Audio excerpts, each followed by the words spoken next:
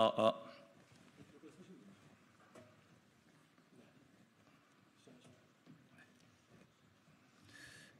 민주당원은 개혁국회 개혁의장으로 추미애 당선인을 원합니다. 22대 총선은 윤석열 정부의 무능, 무책임, 무관심에 맞선 준엄한 심판이자 무너진 민주주의와 민생을 바로 세우라는 국민의 명령이었습니다. 우리는 개혁의장 추미애 추대를 위해 온라인에서 단 일주일 만에 2만 1,054명이라는 놀라운 숫자의 서명부를 받았습니다. 민주당원들은 이번 22대 총선 승리를 위해 전국 방방곡곡에서 더불어민주당의 승리, 윤석열 정권 심판을 위해 헌신했습니다.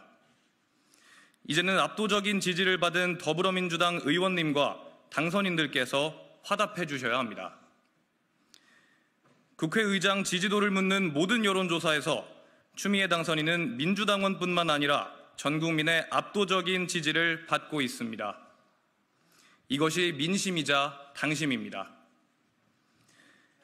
개혁국회와 총선 민심을 받들어 단일화 결단을 내리신 조정식 의원님과 정성우 의원님에 대해서는 개혁국회를 염원하는 모든 당원들이 감사한 마음으로 기억할 것입니다.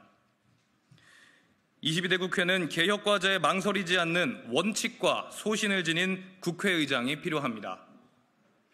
무엇보다 권력의 협박에 굴하지 않는 청렴하고 검증된 국회의장이 필요합니다.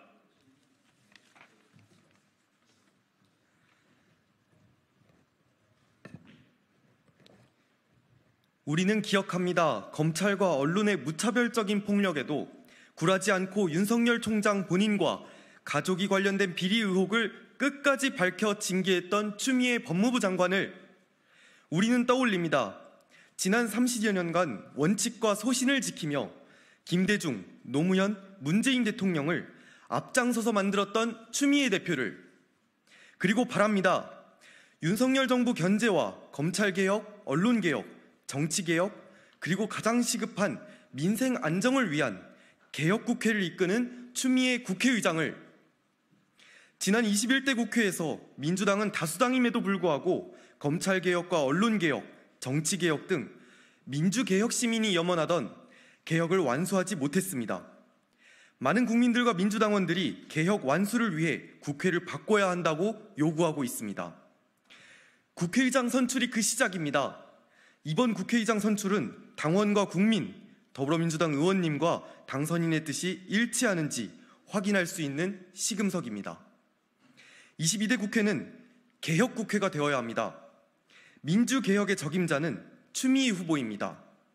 추 당선인이 민주당원들의 민주개혁을 향한 요구를 받아 국회의장으로서 소임을 다할 수 있도록 추 당선인에게 기회를 주시기 바랍니다. 감사합니다.